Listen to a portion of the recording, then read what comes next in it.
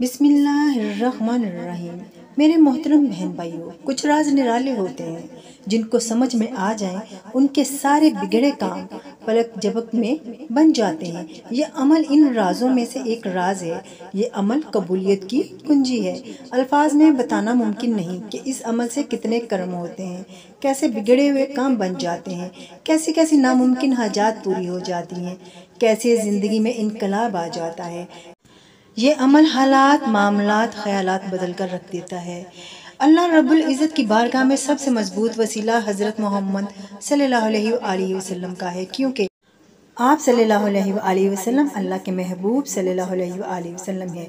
इसलिए अल्लाह की बारगाह में सबसे ज़्यादा और सबसे पहले हजूर सल्लल्लाहु अलैहि वसल्लम की सिफारिश और शफात चलती है और अहल नज़र, अहल बातन का ये कहना है कि हजूर रहमत आलम सल्लल्लाहु अलैहि वसल्लम की बारगाह में सबसे पहले, सबसे ज़्यादा सिफारिश दो अजीम हस्तियों की कबूल होती है।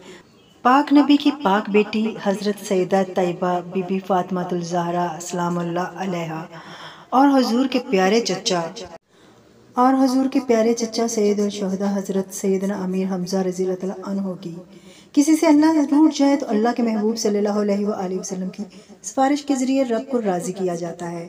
और जब किसी से रसूल अल्लाह सल्लल्लाहु अलैहि वसल्लम रूठ जाए तो फिर हज़रत सैदा फ़ातिमा तलजहरा और हज़रत अमीर हमज़ा के ज़रिए हजूर सल्लल्लाहु वसल्लम को राज़ी किया जा सकता है।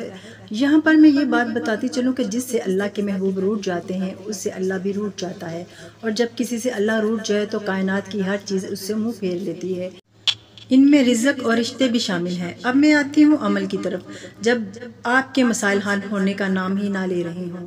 जब आप खुशियों को तरसने लगें, जब आप पर गम के बादल बरसने लगें, जब आपको हर काम में नाकामी का सामना करना पड़े जब आपके रिश्ते टूटने लगे जब सब आपको छोड़ने लगे जब बेवजह लोग आपका दिल तोड़ने लगे जब आपकी दुआएँ बेअसर हो जाएँ, जब आपका सुकून बर्बाद हो जाए जब आपकी कोई हाजत पूरी ना हो रही हो जब आपकी कोई बीमारी ख़त्म ना हो रही हो जब नहुसत का साया साथ साथ चलने लगे।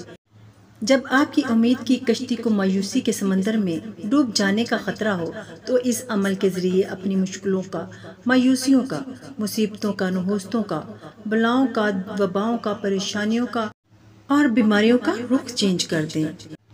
ये एक ऐसा अमल है जिससे आपके दिल का करार और ज़िंदगी की बाहर लौट कर आएगी।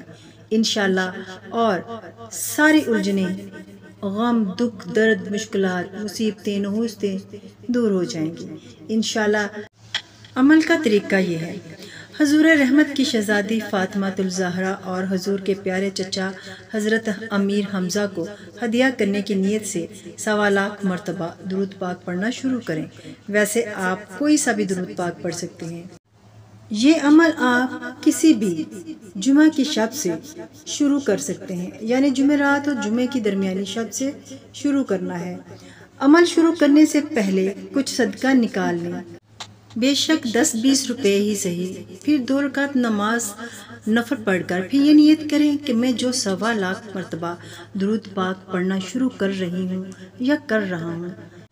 ये मैंने हजूर रहमत आलम सल्लल्लाहु की शहजादी फ़ातिमा और हजूर सल्लल्लाहु अलैहि के प्यारे चचा हज़रत अमीर हमज़ा को हदिया करना है।